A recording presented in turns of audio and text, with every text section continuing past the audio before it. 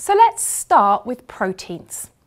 So here on the slide you can see the structure of an amino acid. Amino acids have two distinctive functional groups. They've got the amino group at one end and then the carboxylic acid group at the other. And then the R group is the bit that is variable. In the human body, there are 20 different amino acids, so 20 different variations of R.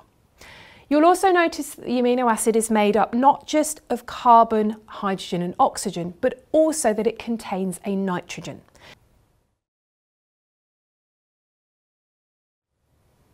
Now, just like our carbohydrates and our triglycerides, Proteins are made by joining amino acids together using dehydration synthesis. That's removing water. But this time what we're going to get is a peptide bond. When we join two amino acids together, we call the result a dipeptide because it's two. If we join three together, it will be called a tripeptide. Now, some dipeptides exist naturally in our bodies, but there are also some that are made artificially. One example of this is aspartame. Aspartame is a chemical sweetener and it's a dipeptide. But because it's not natural and it's not found in the body, it can have some negative consequences. And one of those is it's a neurotoxin. It excites brain cells, it makes them overexcited. And this can lead to side effects from aspartame in certain individuals. One of the tripeptides that exists in our body is glutathione, and this is used to make various antioxidant enzymes. Glutathione is a tripeptide of cysteine, glutamate and glycine. They're joined together by dehydration synthesis and there's two peptide bonds in there. Now, within that recipe for that particular tripeptide, it's the cysteine that is normally the limiting amino acid. What we mean by that is it's the amino acid we tend to have the least of. We have an abundance of glutamate and glycine in our diets, so the amount of cysteine limits how much glutathione we can make. Therefore, one of the ways that we can support people's antioxidant defences is to increase their consumption of cysteine-rich foods.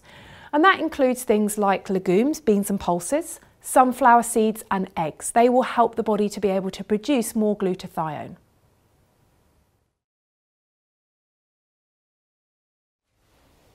So here I've got a representation of a polypeptide, a protein chain. Each of my beads is a different amino acid. So within the human body, we've got 20 different variants, and each of these variants has different properties. We have amino acids that can act like acids, releasing H+. We have amino acids that can act like a base, binding onto H+. And they will behave differently at different pHs. So when a protein chain is created, what's going to happen is it's going to fold up into a unique 3D structure. And what determines that structure is the different amino acids in the chain and their position. Now that structure is also affected by what conditions the final 3D shape is in.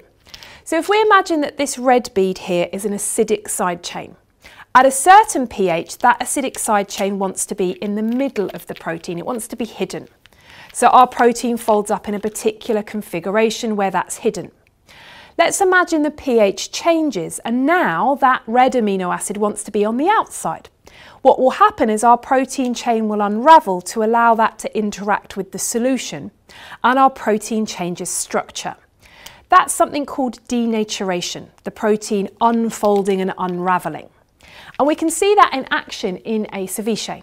So you take raw fish and you squeeze over something citric like lemon juice. And you can see the structure of the fish changing. It goes from being soft and translucent to being firm and opaque. That is the proteins within the fish going from one 3D structure to an unravelled structure and therefore changing in appearance.